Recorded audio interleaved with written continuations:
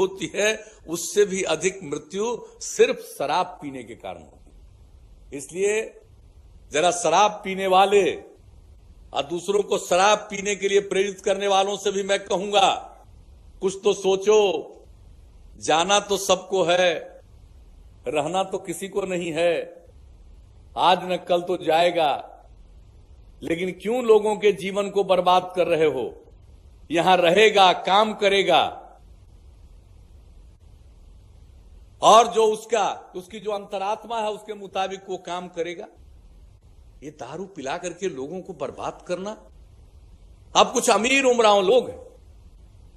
चंद कुछ पढ़े लिखे लोग, अमीर लोग, जिनको इस बारे में कोई चिंता नहीं है। मान लीजिए चंद लोग होंगे जिनको कोई चिंता नहीं है। उनको कोई भी बीमारी होगी तो अपना यहाँ इलाज कराएँगे। दिल्ली में कराएँगे, मुंबई में कराएँगे, इंग्लैंड में कराएँगे, अमेरिका में कराएँगे।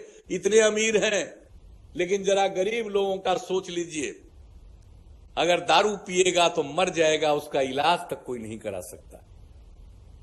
तो इसलिए इन सब बातों के बारे में सोचना चाहिए। और चंद लोग, जो हम लोगों के ये नशा मुक्ति और शराबबंदी के इस अभियान के बहुत खिलाफ हैं, कुछ लोग जान लीजिए। मेरे खिलाफ हो गया परमानेंट। हमको कोई चिंता नहीं है। जब तक हम हैं, इस प्रश्न पर कोई समझौता हम करने वाले नहीं है, ये तो बिल्कुल होगा। और जन जागृति का अभियान, अब ये बिल्कुल करने के बारे में हम लोगों ने चर्चा की है। आज हम बता देना चाहते हैं आप सब लोगों को कि अब हम लोग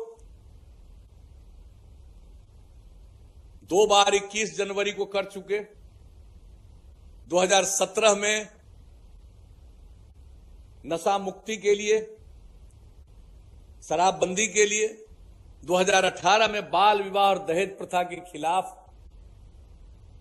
अब हमने कहा इन लोगों को, और आज मैं बता देना चाहता हूँ कि फिर 2020 के 21 जनवरी को मानव श्रृंखला हम लोग बनाएँगे, और उसमें दो के लिए हम लोग पहले कर चुके हैं, इसलिए फिर से करेंगे। शराबबंदी के पक्ष में और जन जागृति और उसका परिचायक हो गया, होगा वो।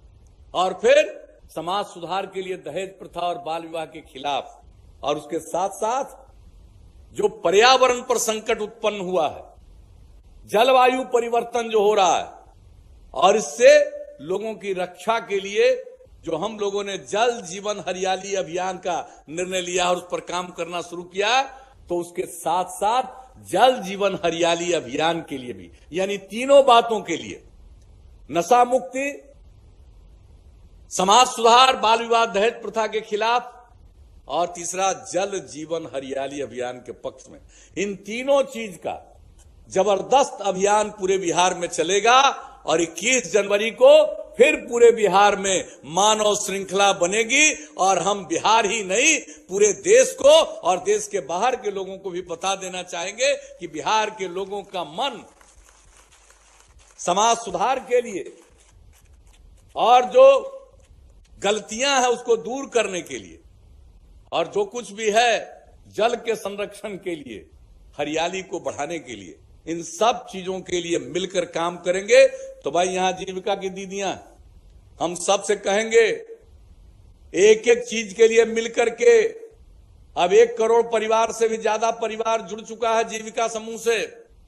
और हमारा लक्ष्य जो है, दस लाख स्वयं सहायता समूह का, जीविका समूह का आठ लाख सत्तर हज़ार हो गया है। ज़रूरत पड़ेगा तो उससे भी ज़्यादा। और जो परिवार को सतत जीविकोपार्जन योजना का लाभ दीजिए उनको जोड़ लीजिएगा जीविका समूह के साथ, क्योंकि जीविका समूह के साथ जुड़ेगी, जुड़ेंगे वो परिवार के लोग, महिलाएँ जुड़ेंगी तो उनमें भी जागृति आएगी। और वो भी अन्य प्रकार से अपने परिवार को चला पाएँगे। तो इसलिए ये सब काम करना चाहिए, और हम सब लोगों को एक एक काम इसके लिए पूरे परिश्रम के साथ और जो कुछ भी हुआ है भाई, इसके लिए अभियान चलाया है।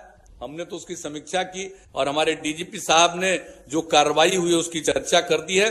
लेकिन हमको तो कार्रवाई करना है, लोगों को यह भी तो बता दीजिए, गांधी जी का शराब पीने वाला इंसान हैवान हो जाता है। कुछ कहने की ज़रूरत, इतने कही है आप खाली। गांधी जी ने क्या कहा? बापू ने